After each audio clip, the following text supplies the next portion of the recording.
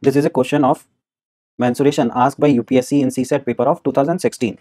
AB is a vertical trunk of a huge tree with A being the point where the base of the trunk touches the ground.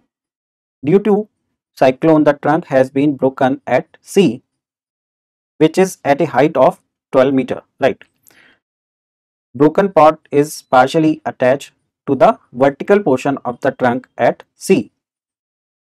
If the end of the broken part B touches the ground at D, which is at a distance of 5 meter from A, then the original height of the trunk is, right?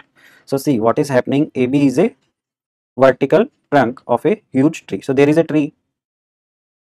So now, so the question is saying, okay, suppose this is a tree trunk, right? So he is touching at A being at the point where the base of the trunk is touches the ground. So this is ground, right? So here this is A, right? This point is A and this is B. And this is the trunk of a tree right so cyclone आता है उसकी वजह से क्या हुआ कि trunk has been broken ये broke हो जाता है एट सी सपोज़ यहाँ पे कहीं पे पॉइंट है राइट right, यहाँ से ब्रोक हो गया right, ये कितना है A N C given is twelve metre right now broken part is partially attach to the vertical portion of the trunk at C right यहाँ से ब्रोक और यहाँ से अटैच भी है। If the end of the broken part V touches the ground at D right so यहाँ से ये ब्रोक हो गया तो ये नीचे गिरेगा, ठीक है, ये नीचे गिर के ऐसे आ गया, ठीक है। और ये यहाँ पे डी पॉइंट पे टच हो रहा है, ठीक है ग्राउंड से right so this is given vertical portion of the trunk at C. Right, if the end of the broken part B touches the ground at D, which is at a distance of 5 meter from A. So A and D की distance कितना दे रखा है? 5 meter. And this is 12 meter. Then the original height of the trunk. तो हमें find out करना है AB right AB is equal to what? AB is equal to AC right plus CD okay okay, क्योंकि ये पूरा एक ही था लेकिन ये टूट के ग्राउंड पे आ गया ठीक है? तो यहाँ पे देखो एक ही चीज़ का यूज़ होना है this is very easy question but just the language is tough okay तो ये क्वेश्चंस पढ़ना और समझना अपने आप में is difficult thing, right?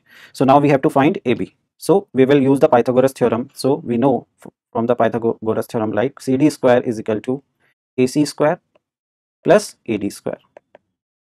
CD square is AC is given 12 square plus AD is 5, right? So this will become how much? 144 plus 25. So this will be 169, right? So CD will be 13. Right so we got CD and we know AC so AB is equal to AC is 12 or CD kitna hai 13 right so this will be how much this will be 25 meter right से पूछा है original height कितना है trunk का so the original height of trunk is 25 metre so the answer is option B okay